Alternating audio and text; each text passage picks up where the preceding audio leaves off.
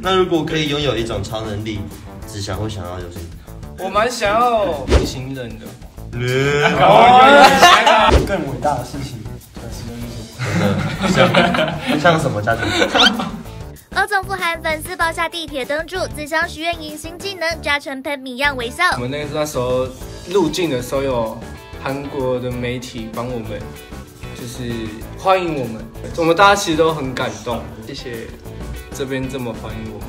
其实我到了韩国当天才知道有粉丝为我预备那个，就在地铁，然后有那个灯柱，看到自己的画面，我觉得真的非常感谢粉丝朋友们。由选秀节目《原子少年》出道的男团欧总赴韩国受训拍摄 MV。二十二号刚好是成员子祥的生日，也是第一次在韩国庆生。他们趁着练舞空档开了 QA 直播。之前欧总直播有装可爱比赛，子祥可以排名一下自己觉得团内可爱第几名？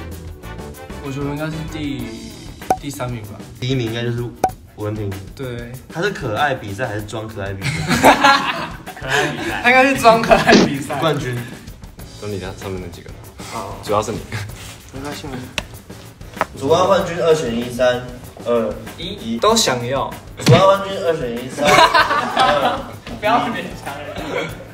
主要冠军。二选三二一，冠军。那主要文平二选一，三二一，没关系，先这是节目，节目效果，节目效果。没有，他是他很真诚。加成文听二选一，一二三，这样子。没关系，没关系，你不要说谎，给我打。你为什么那样笑？打他！文婷，你再笑一次刚刚那个笑，给我打。难怪没有去，只想去韩国有长高吗？你觉得嘞？为什么？因为天气你。觉得会长高吗？刺激那个膝盖的骨。哎，好冷，好冷哦！你要长高五公分，但是要跟文婷相处一个礼拜，还是矮五公分，但 MV 破千万？不是 M M V 破千万，因为我觉得是你这样矮五公分，你变一三五。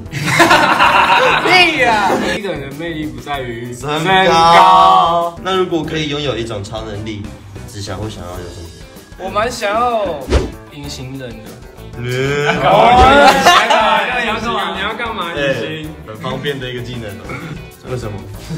这不好说。那你讲一个，你隐形之后你要干嘛？躲猫猫就不会被抓到了，哎，就可以躲在桌子了。有更伟大的事情，短时间就做。